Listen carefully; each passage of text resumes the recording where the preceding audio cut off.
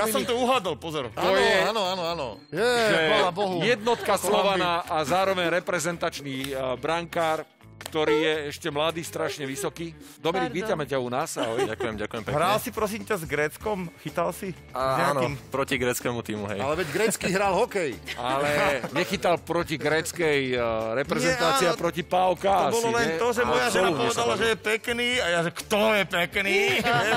Tak som to tak chvíľku počkaj. pozeral, vieš? A povedali, že je dobrý. A Že to to ťa je... zachránilo. Pozor, naozaj je veľmi dobrý, veľmi talentovaný, pretože máš koľko, Dominik? 22, ešte 3, 3 dní budeš mať 22 rokov? O chvíľu máš národky. Viem, to bude Budem 20, oslavovať meste, no. no, bude to 23, ale je veľmi pravdepodobné, že si na Slovensku poslednú sezónu. Ako to ty vidíš?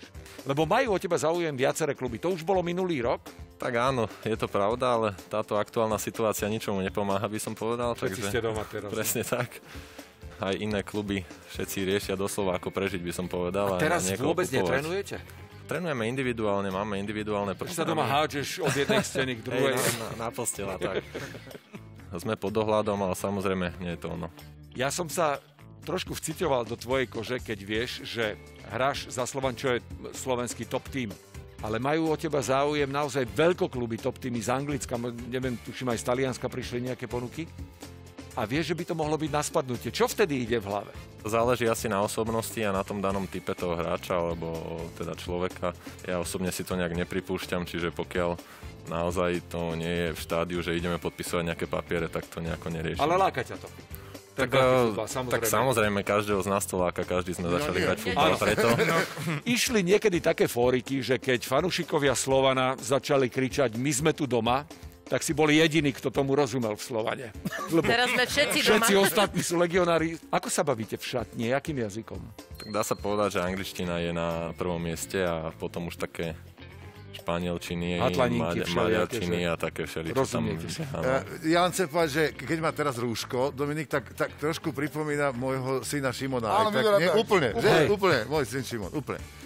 Len má o trošku 4 starší. cm viac. A ja som chcel opýtať, Dominik, prečo si si vybral, prepáč, že týkam práve brankára, neboli to? Veď oni do teba, všetci na teba bežia, kopu, Boli, loptu do teba boli. strieľajú, Ale sa nenabeháš. Hádžeš sa. Lenivý je. Keby som dal behať. dole rúško, vidíte ten krivý nos, jak to bolí, ale... A aj si dostal niekedy No už? jasné, jasné, na prvom musí tréningu. Ale ja si skôr myslím, že ja lutujem a nerozumiem hokejovým brankárom, toto je keď- lebo to sú strely z pušky. Lenže Ale oni majú na sebe tie, veci, ale on je v Nemá teplákoch, No chápeš? ale, vieš, hokejový brankár nie je celé má chránené. Naozaj to až tak, až tak štípe? Tak o štípanie nejde, ale sú partie mužského tela, kde to je nepríjemné celkom. Poďme to vyskúšať, Vlado. Lopta. Čo? Dobre, toto si viem predstaviť, ale to nie je vec, kde ťa trafia bežne. Ale keď sa hodíš k tyčke, tak ja naozaj niekedy čakám, že či nepristaneš hlavou, vieš o to. Stáva sa aj to, To no. sa tiež stáva. Stáva, jasné, ale tak našťastie už dnes sú tie tyčky z takého plastu a nie úplne celé kovové. Takže... Ale aj tak, ty máš potlačený nejaký prach bolestivosti? Lebo čo musíš pri takomto asi, nie? Športe. Lebo aj to hádzanie sa o zem, To nemôže byť sranda. celkom bolestivé. Zvlášť v zime, keď si skrehnutý.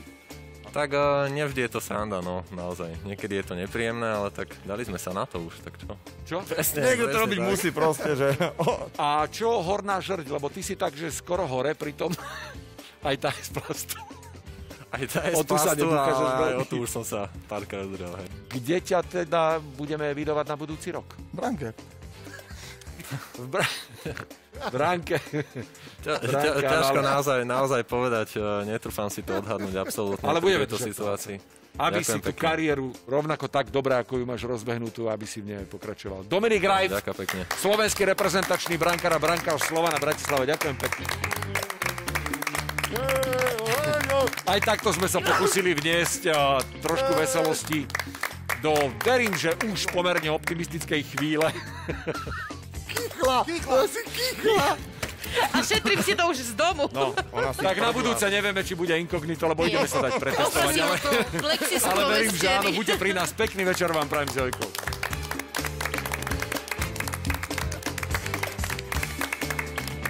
Eli, môžem vás poprosiť len tak, že Keby ste na chvíľočku, i- iba tak, že šuch, To je dosť také...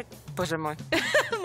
no Nič moc. krásna žena, ďakujeme. Tak toto je ešte lepšie, ako A sme toto si je predstavovali. pastila, to by ste mali poznať, to v Rusku. Oni to ešte niekedy tak aj zlepia, tak na, na vrstvia. No извините, уже забыл. Все ж таки, No, мужик on, už, уже... on už starý, nepamätá. Len sušenú vodku pamätám. Chcem vám to rozdať.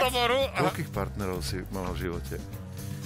Počkaj. 1, 2, 3, 4, 5, 6, 7, 8, 9, 10, 11. Ty, 13, 14.